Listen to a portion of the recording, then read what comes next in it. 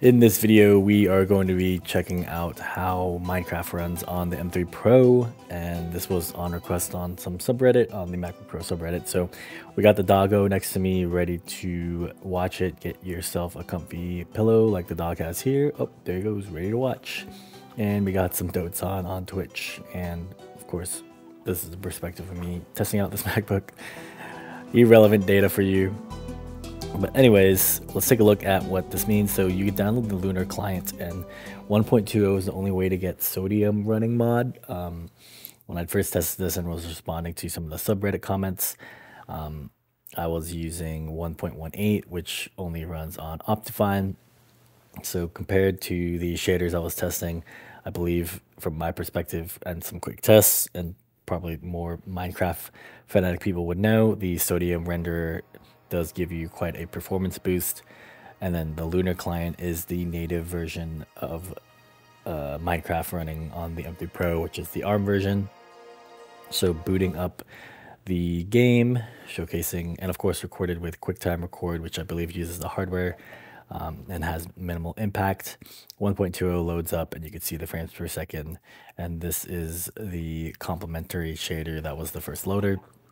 So pressing FNF3 brings up this more detailed menu and you can see it's using Sodium Renderer and also of note the 1.20 version when you have the screen like I do, which is double clicking the window and takes up the full screen, runs at Retina resolution. So this was at 3000 by nine, uh, like 1900. So going in, showing some of the shader pack list, um, this is typically how the video will play out. Uh, I don't plan to do too much commentary but just know that um, I do showcase later in the video how to install the shaders. I'm actually going to edit this video and just showcase it now, but it basically involves downloading it, navigating to the appropriate folder, and dragging and dropping those files into the Minecraft shader folder, which is how it appears. But I will say that at full screen on this uh, shader pack runs at 50 frames per second. I think it looks pretty good. Um, but compared to what I saw from later in this video, you'll see the, I believe it's pronounced Sildur's.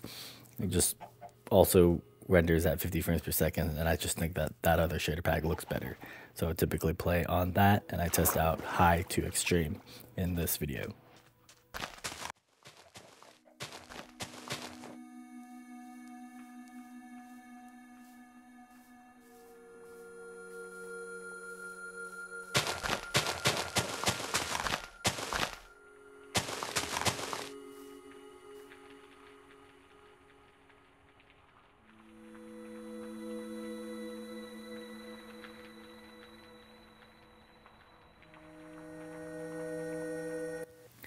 So the only call out here is once you hit escape and double clicking the menu, it goes back to what the default resolution is. And like I mentioned, this is retina rendering. So um, here you can see that the display is at 1700 by 1860. So um, essentially half retina and then the FPS bumps up to 110 frames per second. That's a common theme you'll see in this video as I go through all the shader packs and kind of a walkthrough of the different options.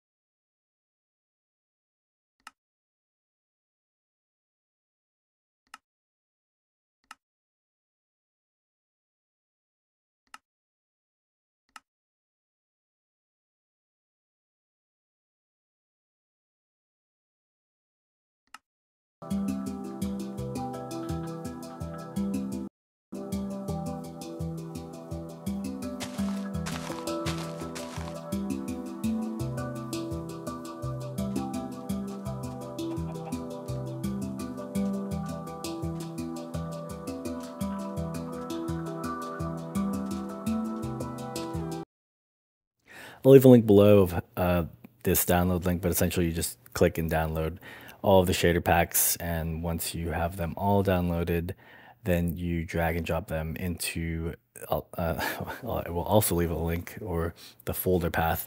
And to get this hidden folder path, you have to hit Command Shift and the period button to show hidden um, hidden folders. So yeah, here it's just dragging and dropping into the shader packs, Minecraft and application support. Then once you do that, the new shaders that you just downloaded will appear. And in the rest of the video, I test out high to extreme. Um, I believe I got the volumetric settings turned on and eventually I turned on motion blur, um, which I think had minimal impact, about 10 frames per second. But typically I would say if you are thinking about getting this M3 Pro, the most extreme setting with volumetric lighting allows for over 60 FPS gameplay in the windowed mode at this resolution. And then if you double click it, I've typically gotten 30, here you see like 42 frames per second. So that's uh, about what you would get um, if maybe if you have a 4K monitor or something to that effect. All right, enjoy the rest of this Minecraft video.